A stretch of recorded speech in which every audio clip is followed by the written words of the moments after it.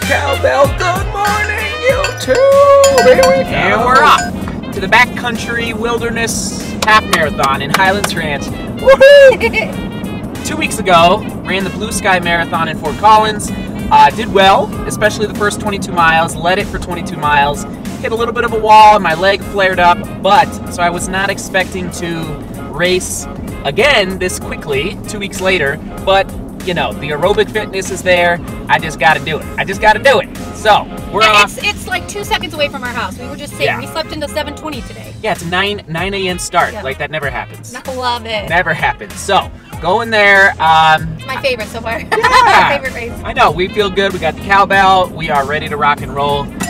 And uh, I think I'm gonna do a little more filming today. Ooh, Who knows? We'll see. Ooh, that's nice. So I might bring you along the journey. So stay tuned. So we're on our way. We're about 15 minutes away.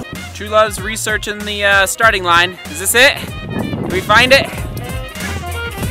Six,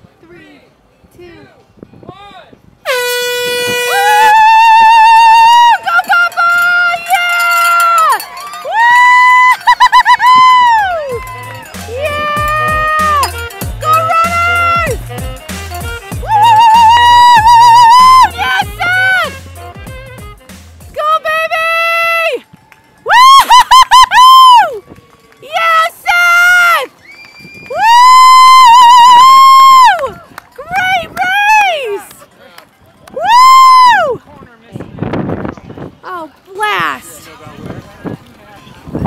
Oh, man. Woo! Oh, blast! Okay, let's. Yeah, that's okay, Pumpkin. Just so you know. Okay. Put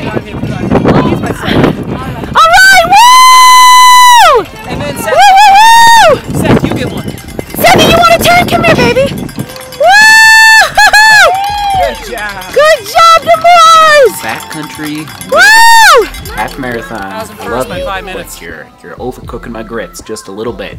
A great event overall. A great event. Great T-shirts with a hoodie. Love it. Amazing finisher medal right here. Amazing. And a great like post-race party at the finish line and a great starting line environment with good music. But what about out on the course? What about out on the course? I was a little livid after the race. I've calmed down now, just a little bit. All I'm saying is, where I got lost with two and a half miles to go, I was in first place by, I would say, 90 seconds to, to two minutes, roughly. A half mile before I got lost, there was an intersection with six to eight volunteers cheering and I think there to help people that were hurt, which is fine. It was like mile four and then also mile uh, 10 and a half. And I'm like, please, next year, next year, send one volunteer down that trail to that hard right that, in my opinion, was not marked well. And thankfully, I did meet another runner after the race who got lost as well. So I didn't, I was not the only one that got lost at that intersection. Now, being in first place at that point, I, I wasn't following anybody. I wasn't following a lead bike. And that is a tip of the day, whoever the race director is. If you watch this, please have a lead bike a, throughout the entire race, preferably, but at least in a couple tough sections where if you've never run those trails before, you're going to get lost. I love you. It was a fun race. I love you all. It was a really fun race. A very smart race. A very I I- two weeks ago at the Blue Sky Marathon, I led for 22 miles and then dropped back to fifth place those last four miles because of my leg and because I hit the wall. Today in the half marathon, I was in fifth place for about seven and a half miles and then crushed it to the let's see 10 and a half mile no 10 yeah 10 and a half mile mark. I was in first place for like three and a half four miles there just like rolling it into the finish ready for the w.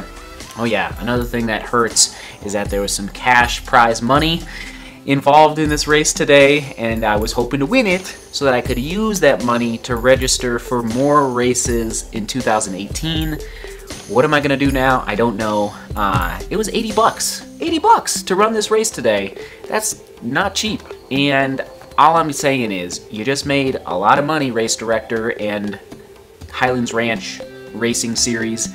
Please put more volunteers out on the course at the tough intersections.